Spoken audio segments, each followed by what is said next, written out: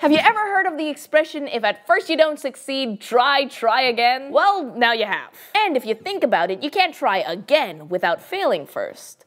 Engineers fail all the time when they're trying to find the best solution to a problem. In fact, failing is really important because it helps you figure out how to make a solution that does work. And to do that, engineers need to find their failed solution's failure point. So, what is a failure point? Answer that question, let's revisit some of the steps we've been using to design and test the possible solutions to a certain problem. We started by picking out a single variable, the angle of the ball ramp. Then we did several trials where we changed the angle of the ramp each time, and we had a few failures along the way. In our first trial, we knocked only some of the pins down. And in the second trial, we got no pins down at all. But on our third trial, we got the outcome that we wanted. Strike! And we decided that our solution was a success.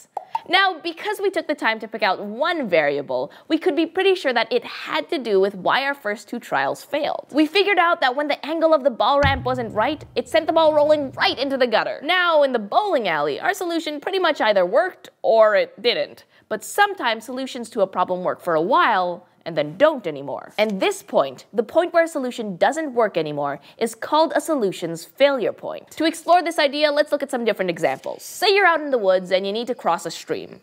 Fortunately, there is a solution handy, a small wooden bridge. You can take the bridge safely across the stream, right? Oh, but did I forget to mention that you're also driving a bulldozer? Now, that bridge might not work. At some point, too much weight will make the bridge collapse, and that specific amount of weight would be the bridge's failure point. It's the point where the solution wouldn't work anymore. It's a place where an engineer could say, here's why the bridge failed. Let's look into a pretty famous failure point involving another bridge.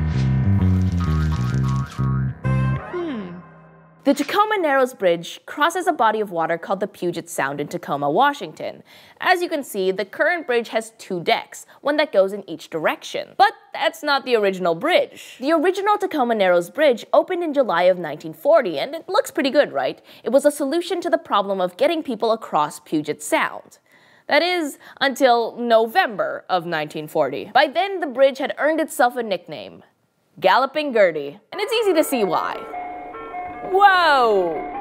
It turns out that the failure point of the original Tacoma Narrows Bridge was when hitting it at a certain speed and angle. At this angle and speed, the bridge would twist back and forth. Eventually, it collapsed, though no one was hurt. Once engineers figured out that failure point, they designed and built a new bridge, one that could withstand winds like the one that made old Gertie gallop, and that bridge is still standing. Thanks to what engineers learned from the failure point of galloping Gertie, suspension bridges are stronger and safer than ever. It's a success story that started out in a failure.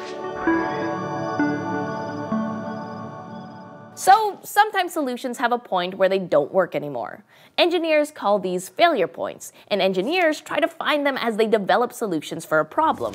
Really, they want to identify these points before the final solution is put in place. That saves lots of time and money, and sometimes lives. And sometimes failure points are pretty easy to find, and sometimes they're harder to figure out. But when engineers do find them, they learn from them to find even better solutions to a problem. You wonder how they do that exactly? That's another story for another time. Don't fail to meet me back here soon.